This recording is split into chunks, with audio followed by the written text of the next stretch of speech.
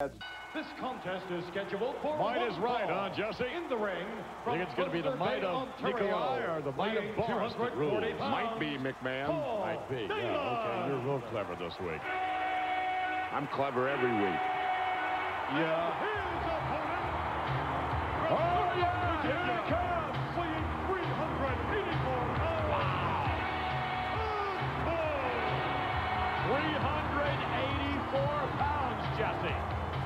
Believe it. We're talking a mountain of a man. And Tugboat, as he said he would, tossing out those Hope Friendship bracelets out around ringside. And fans really starting to wear those.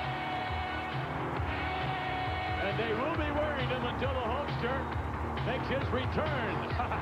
They might be wearing them. They might be wearing them till that kid's a grandpa. Could be wearing them until the cows come home, huh? Absolutely. Wisconsin, cow country. I Never get it, McMahon. You know, that cheese is just too much.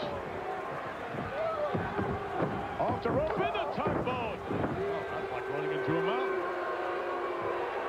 He is big, isn't he, McMahon? Look at the size of his arms. He's a monster of a man.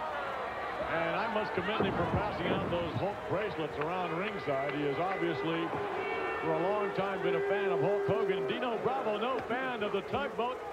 I wonder, Dino, what do you think about tugboat passing out the bracelets? Nothing is going to help Hulk Hogan. He's out of wrestling for good. And we all know who accomplished that feat. Our friend, the Earthquake. As far as you're concerned, Tugboat, I'm going to get you out of wrestling for good myself. You're out of here. Oh, really?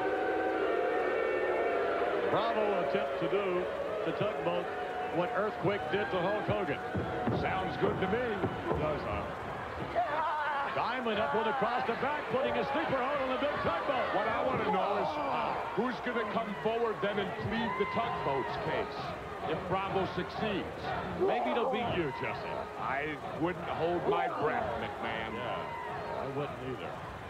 Tugboat with Diamond whips him to the far corner and moves right in. Oh, 384 pounds. Pressing Diamond to the back of the buckle and forget it. Can pass out anything you wanted to pass out around ringside. Take your time after this. The size of this man is huge. And he's just about the number one Hulkamaniac in the whole wide world today. there you see Tugboat wham, driving poor Diamond into that turnbuckle. Big splash, Tugboat full force down on top of him.